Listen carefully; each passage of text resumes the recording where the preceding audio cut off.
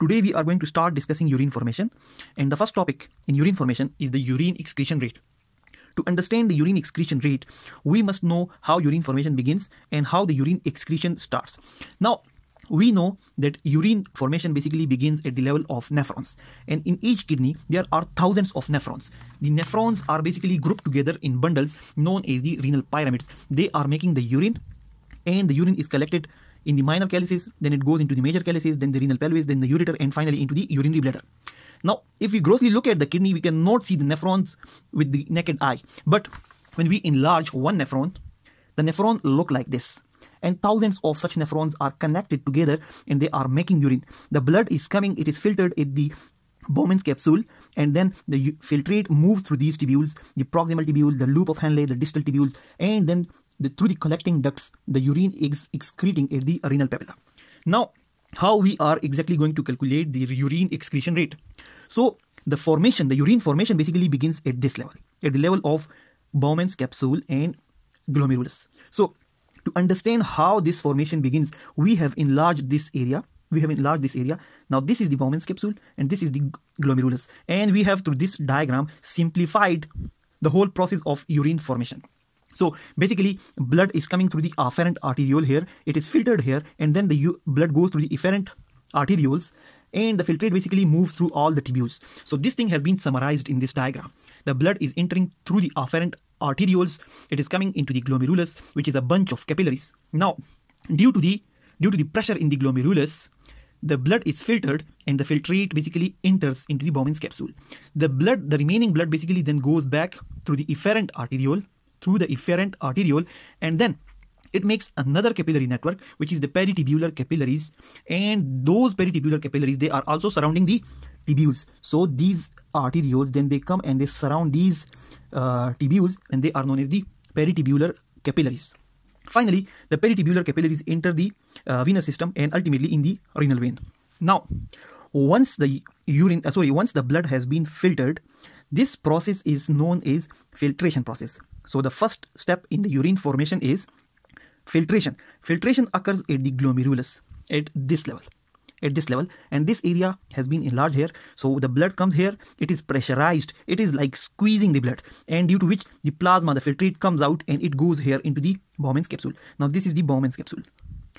Now here is the tubule. Now here we can see the whole tubule has different parts the proximal tubule the loop of Henle the distal tubule then the collecting ducts. But here we have summarized quickly and we have basically simplified this diagram so once the, fi the filtrate has entered the Bowman's capsule and it has started moving through the tubules of the nephron, what happens is that there are some substances which have been filtered here in the filtration process, they get reabsorbed into these blood vessels in the peritubular capillaries.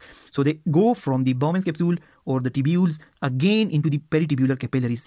This process is known as reabsorption. So initially filtration occur, then reabsorption occur.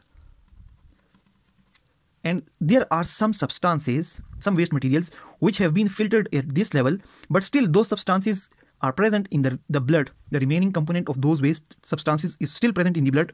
And that component of the waste it may be any kind of waste which we are going to discuss further that what are those substances they may get they may get secreted again into these tubules. So for example the filtration process has occurred here the filtrate is now moving through these tubules and these tubules are also surrounded by the blood vessels, the peritubular capillaries. These.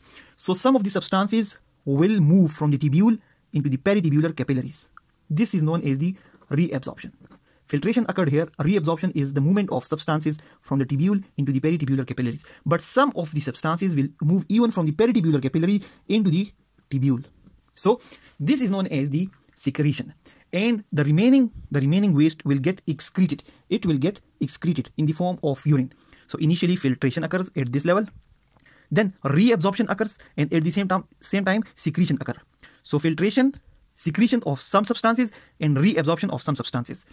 And the whole process can be summarized. The urine excretion rate can be summarized as urine excretion is equal to filtration rate minus reabsorption rate plus secretion rate. So the rate of urine is the rate of urine excretion is determined by combining the filtration process the combining the filtration process of all the thousands of nephrons that are present in the whole of the kidney.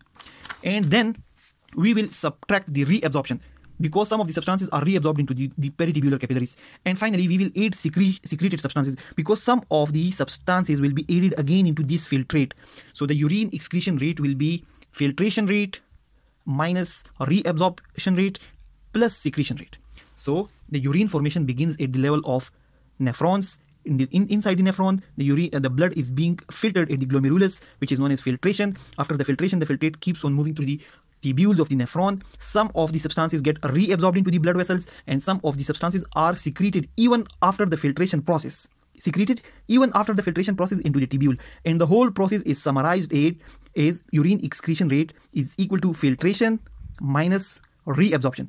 Because if something is reabsorbed so it is basically removed from the filtrate. So that component is subtracted and then something is added again. Something is added again. So addition of the secretion. So that's the whole equation for urine excretion rate. Thanks a lot for watching the video